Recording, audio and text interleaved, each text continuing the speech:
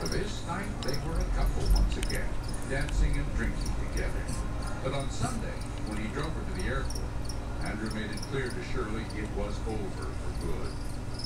On Sunday night, I got out of bed and prayed because I thought Andrew was at risk. I had this overwhelming feeling. And I prayed to God to be looking after him. I, I, I'm not, I never know what to think about these uh, feelings that people get. I have a lot of trouble with those things too. Wow. I suspect what really goes on, what's, what's called intuition, is really a very, very complex calculation of lots of little indicators. Little things that Andrew said on the phone, maybe, maybe the last time you talked to Shirley, there was some very subtle change in tone. In Kurt Kuenne's documentary, Clark Simpson, one of Andrew's close friends at the hospital, remembers that November morning just two weeks later when Shirley surprised Andrew again. He said, you'll never guess who showed up on my doorstep at 5.30. And I said, who? He said, the psychotic bitch. And I told him, I said, you know, Andrew, when I break up with somebody and put them on a plane and send them 1,300 miles away, I said, they knock on my front door. I'm going out the back door and I'm calling the police. He said, what do you mean? I said, Andrew.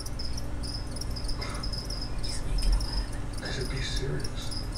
Nobody drives 16 hours after you've just broken up with them. I said, do you not meet her in private? He said, what can happen?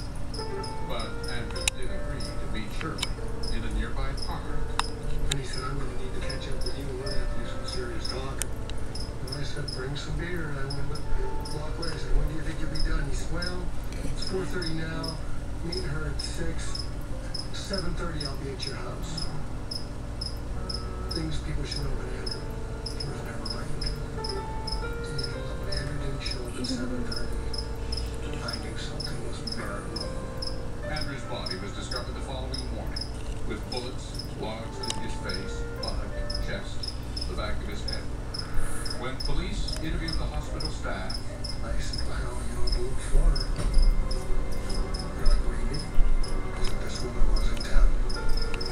She was here. I said, find her, and I think you'll find who did this. police got Shirley Turner on the phone back in Iowa.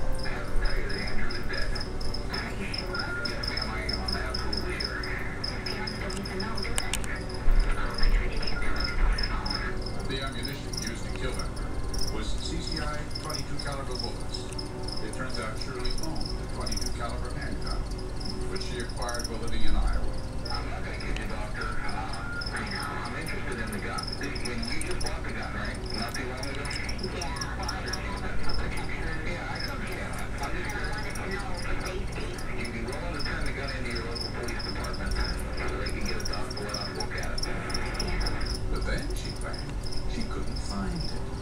It's either in my closet or my bedroom, or it's in the car.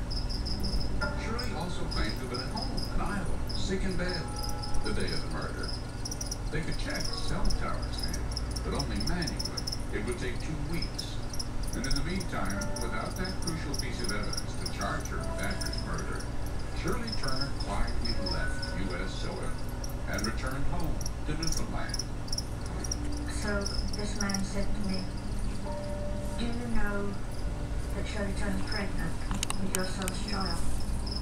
Coming up, a grandchild on the way. The baby's mother, the prime suspect in his father's murder. Was it possible? People thought she was delicate, but I used to look